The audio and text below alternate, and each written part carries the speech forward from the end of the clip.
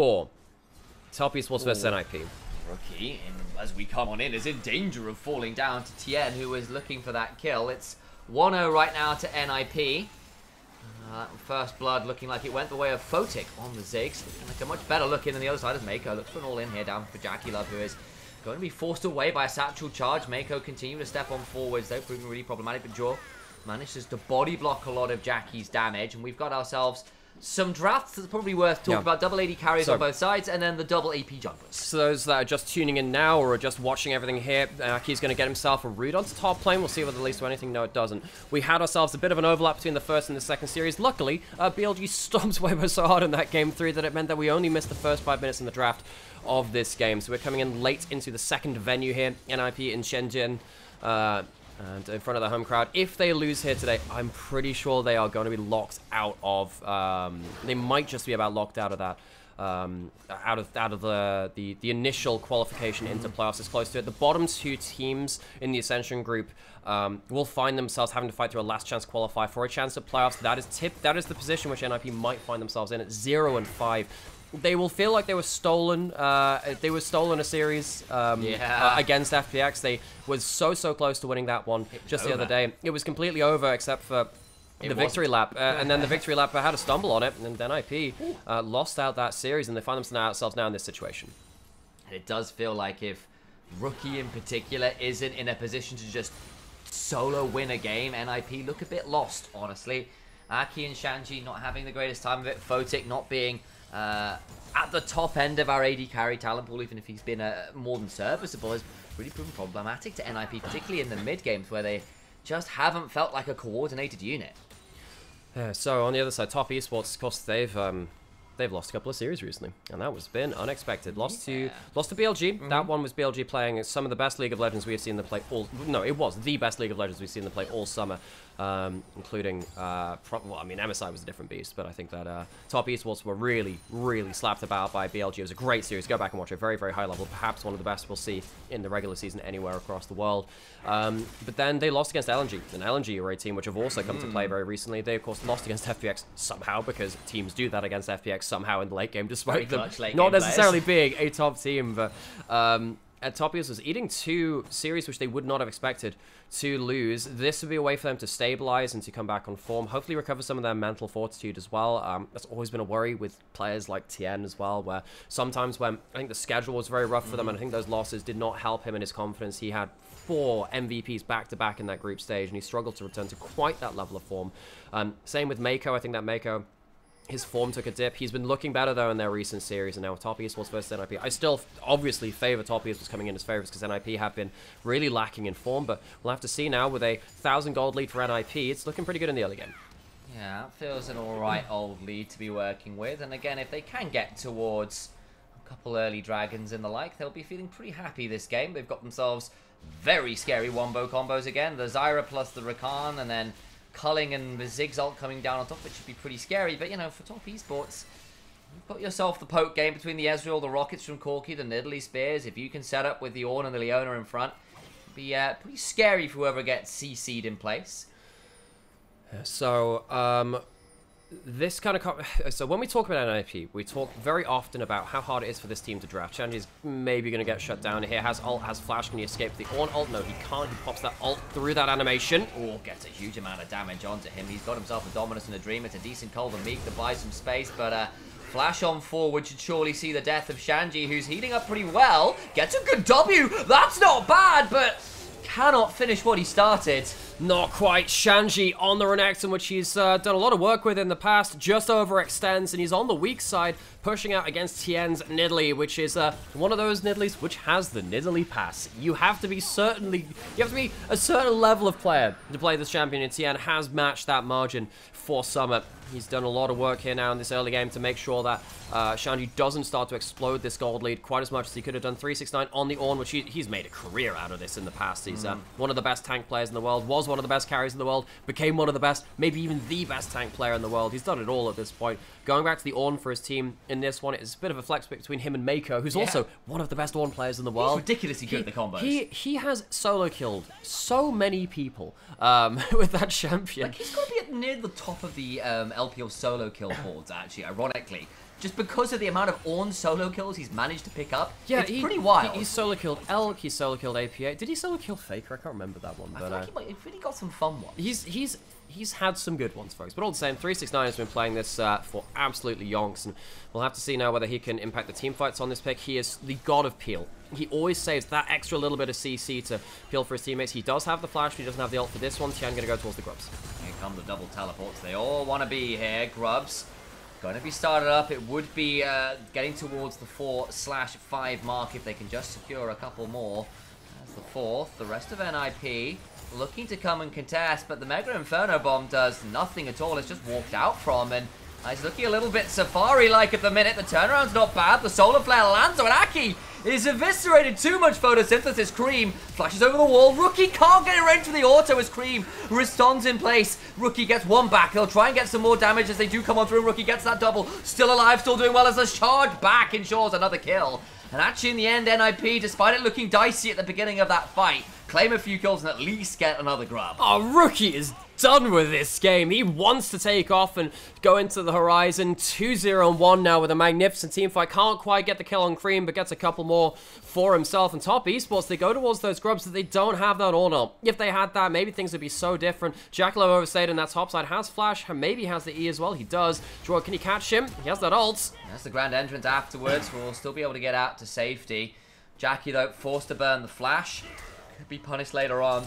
And honestly, I thought after that Mega Inferno bomb missed, and Aki get blo got blown up, I think, well, they've not got the damage right, and Creme doesn't die as Rookie goes over the wall, Yeah. he's behind, and it still works out. I think not having the Forge, the Call of the Forge God is is uh, is really big. Aki gets caught out. Aki been the subject of a lot of criticism in this summer, to the point where Lian has been added to the roster for NIP. There's a funny story about that, which we'll have to tell us if we come to this replay. But Rookie, he, he's just completely off the races. He, he, he guns out one carry, takes down a load of kills, and just zones off the rest of it. Great team fight from him. If he can continue to have that, Rookie will... Um, really be a threat now beyond this point. Shanji should be safe, but um, yes. So, folks, Leon has been added to the NIP roster. Now, Aki's been under a lot of uh, criticism. I understand them looking for a new jungler. Leon cannot be played right now by NIP. This is the thing which you wouldn't hear on the main stream because Leon was banned for two series for humping a plushie on his stream. What? So. So he is not available for NIP to play. Um, yeah, that's where you get that from the co-stream cast. Average folks. esports. Yeah, that's that's the that is the most normal LPL moment of all time. So um, Is it with LPL pros and Yeah, doing look,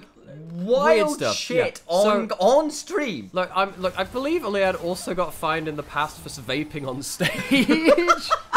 it's like this dude is like weirdly just like I don't know whether he's a bad boy or whether he's Oh. just I, I don't know whether he's like one of those bad boy archetypes or just Oh. or just bad at following rules just for some reason. Anyway, so in the future we might see them playing uh, towards Leanne, but he can't for now because of that. You, you've heard it here. Do with that information as you want. I uh, I won't name names, but I knew a pro player who nearly got kicked out of a bar because he walked behind the bar Oh, and tried to serve himself a drink.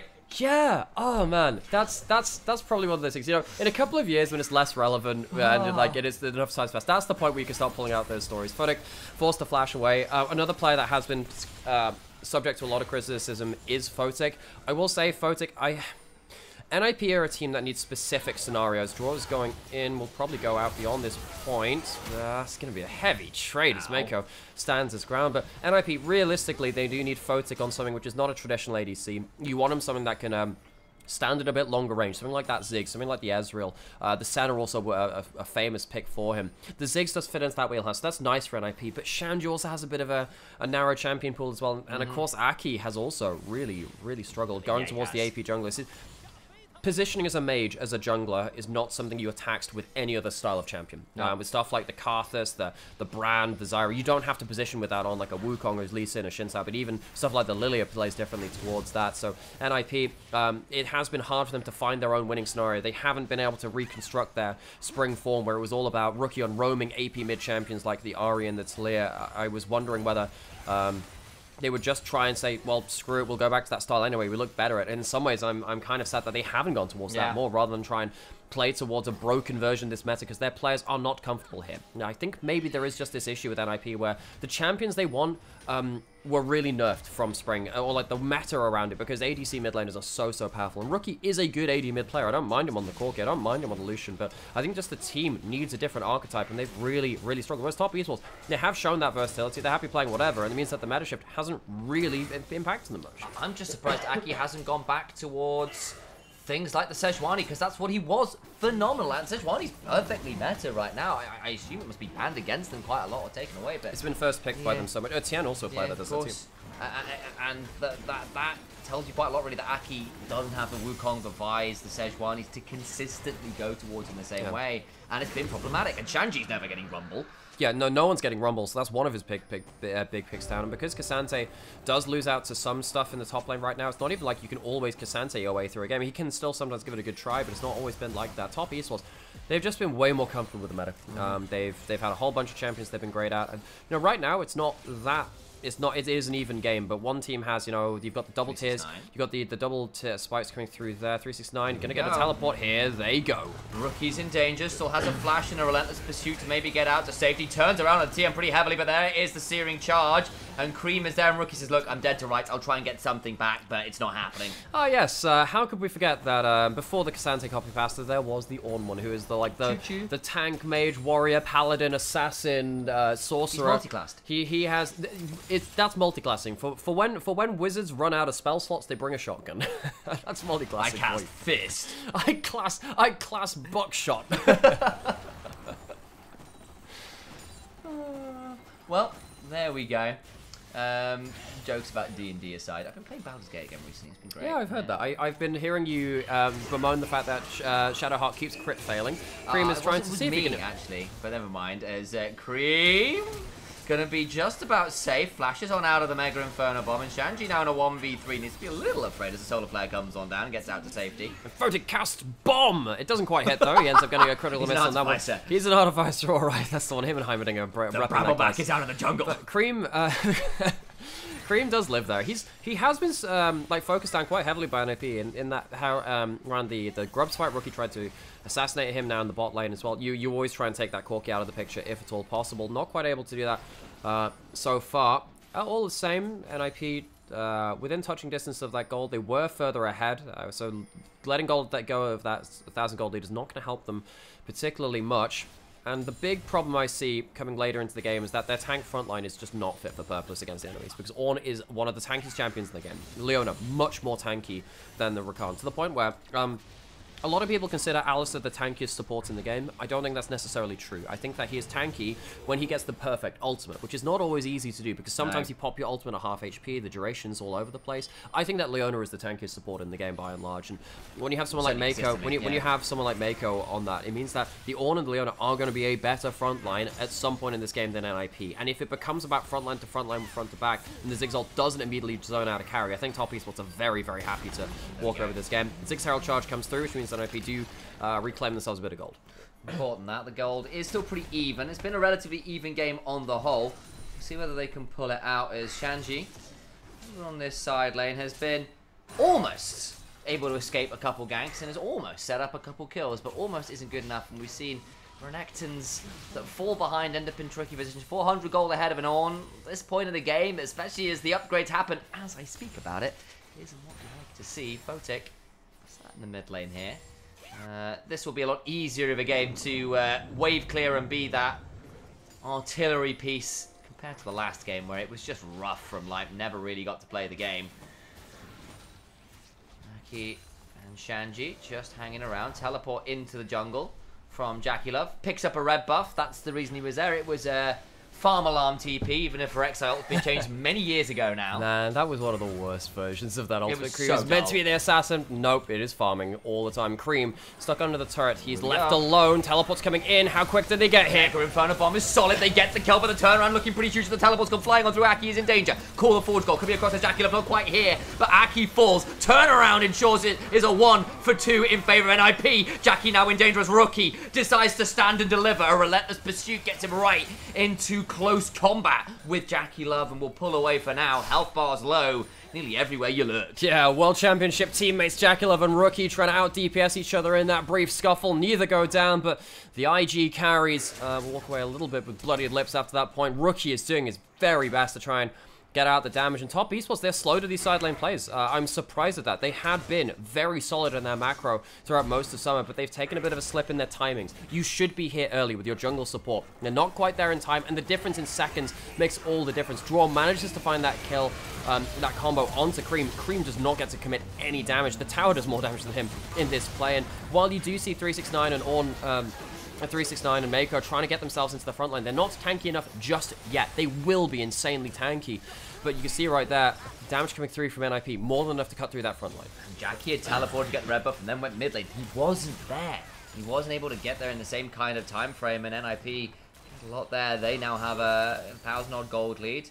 Second dragon being started up currently by JackeyLove as there are thousand and one traps and a ward by that banana bush just on the top edge of your screen. Dragon number two secures. Baron though on the other side could be a slight threat because see Meiko and 369 were very swift to walk up that river again. You are into a Zyra. You have got to be aware of that ability to rapidly start up the big purple worm. Especially with the second item now completed. This turret in mid lane should just fall as 369 tanks up the turret shots, teleport, teleport behind, into the Stranglethorns. Jorg gets to the back line with a double knock up as well. Jackie dead to rights. They're going to do so much damage as 369 gets to charge away with the flash coming on down to the culling onto Meiko. Solar Flare is jumped over by Rookie, who is just started on the gunslinger. Is looking like Stephen King's Dark Tower hero. Rookie gets the damage done again, commits the flash this time, and now with two dead, NIP were just tentatively thinking about a Baron. They're not deciding anymore, though. They're going straight towards it. They have the Zyra. They can rush this out as quick as they want. Top esports, they have themselves what? I mean, they don't even have a true shot barrage because he's dead. 369 will have to ult his way into something. Be a dream. 369 looking to come on through. It's a decent call of the Forge God. Turnaround comes on through Baron. Still leashed. They're going right back on in. They burned so much of the combo. Shanji has the Sterak's popped. Down to 2,000 HP. Creme kills off the Renekton. Big game hunting. That's the Baron down. True shot barrage across so many members of 369. Desperately low, but not dead somehow, some way. Photic gets the last auto. Meiko looking for a Zenith Blade across the wall. It goes wide as Aki's still here. Trying to buy as much space as he can. And Rookie somewhere in the back end of that fight did fall. But NIP get Baron, NIP get a load of kills, and NIP are now the ones in control of the game. Yeah, the NIP just about scrap their way through to a Baron and a one-team fight. They get themselves, again, an extension of that gold lead, and going back to the replay, this is exactly what happened after this. The root lands onto oh. of Aki, who we've we've criticized him a lot for his AP jungle play. He has a good team fight here. Gets himself the great uh, CC onto that first target. So that's one carry down. T Creme teleports in late as well. He can't commit damage to the start of this. And you, know, you can't afford to get caught like that as JackeyLove. You can't afford to get caught like that. Um, and so much of the damage for this team. When it comes around to this Baron, there is this huge lineup for the, the Ornn, but it doesn't quite catch everyone in terms of that Brittle proc. Very, very close to being turned around. Creme, he's the only remaining damage at this point. Tian, he's soloed out because they don't want to uh, see him get that Baron steal, of course, and Rookie gets that one. Rookie really, really doing well oh. at trying to get himself the damage down, but Creme just about makes this salvageable there. Very, very close to getting another one back. I wondered what happened. I think he flashed off the bottom edge of the screen. The observers caught a little bit by surprise because 369 on the top side was doing things at the same time. Don't blame him for that one. Trinity Fusion upgraded there for JackeyLove as the Ornn upgrades will still keep coming on through and that will help mitigate some of this gold lead assuming the Baron power play isn't absolutely overwhelming. Still a game to be played here. So, NIP, they have themselves a good lead, a good chance to extend that lead. They can't overextend. Remember that they've used a lot of their tools in that last fight. Wouldn't surprise me if they don't have uh, many of their flashes up, as we'll see when that uh, graphic on the side goes, uh, goes folds back in. But you know, when you do have um, you know, the big call of the Forge God, there's every chance that you could catch out someone like Rookie. Of course, Photic, Aki, and Shanji all having their flash, though. There's more flashes than I would have predicted being up. Yeah. That does give them a degree of safety, and top esports, they're up against it now, particularly with so many items coming through. Rookie getting towards armor pen as well, so he oh. can chunk through that front line like this. I thought that the front line would be so much stronger from top esports, but with the gold now being given over to that Lucian, that might just not be the case, especially with mixed damage coming in from Aki and Photic. Rookie is still one of the very best in the world. Even if NIP have been struggling, I think it's fair to say he has been uh, putting in some shifts. Well, it, Rookie is such a strange person to characterize. In spring, I think he was. In summer, I think he's taken a dip in form. I think he has done. You can see some of his games where he's not been able to carry the way he would have liked to. He might have to do so again here. Oh, my days. Damage back. Shanji goes into the back line. Damage comes through across the back end of it, and Hmm. everyone stays alive.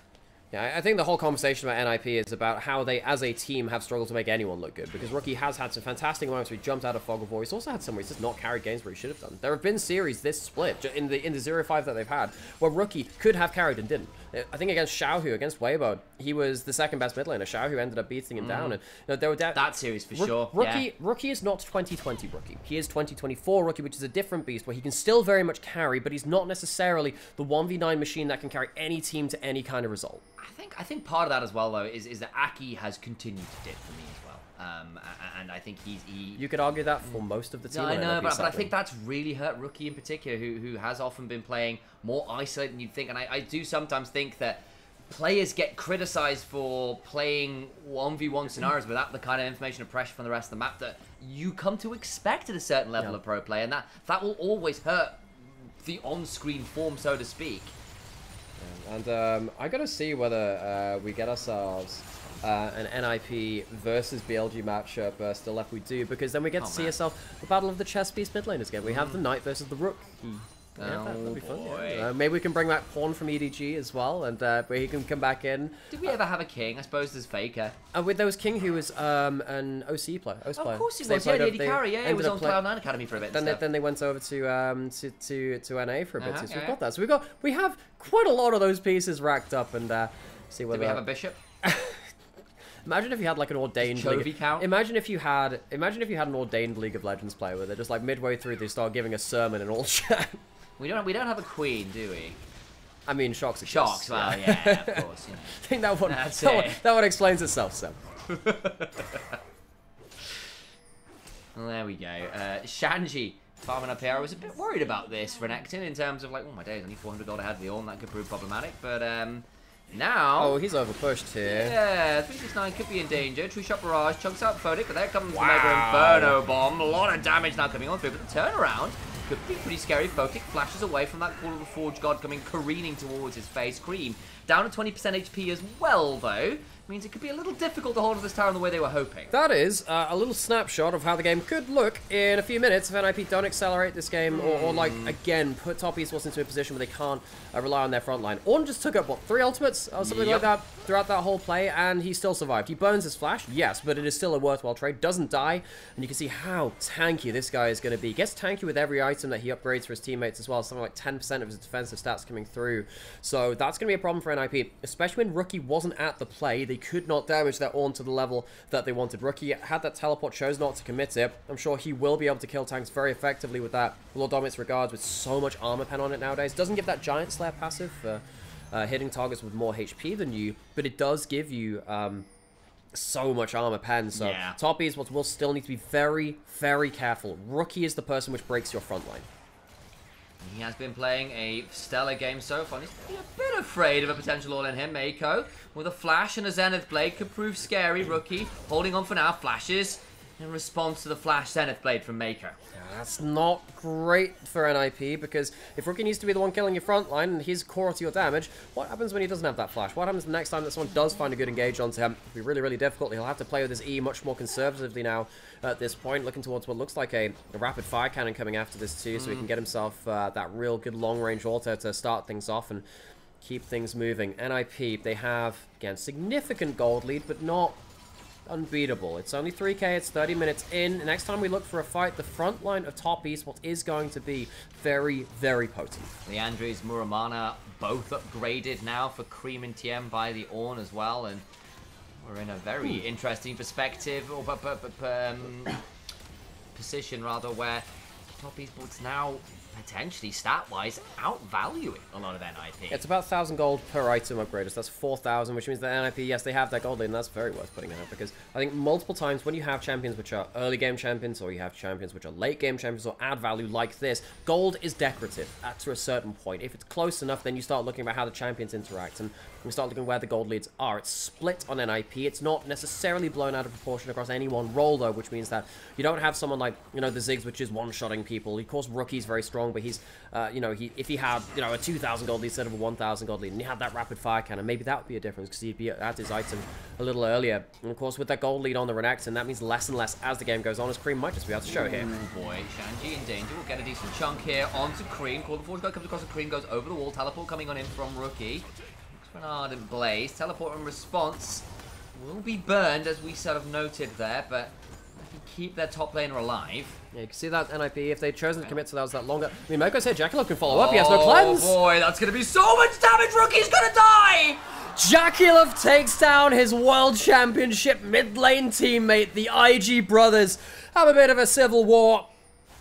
Top Esports send their regards. Rookie, the ex, uh, next mid laner of Top Esports as well, goes down. He is, such an important player. Him dying, trying to play around that fog of war, might just lead to NIP giving up the Baron. Teleport to save his top lane and then walk back to try and get towards the rest of his team. Dies on the way.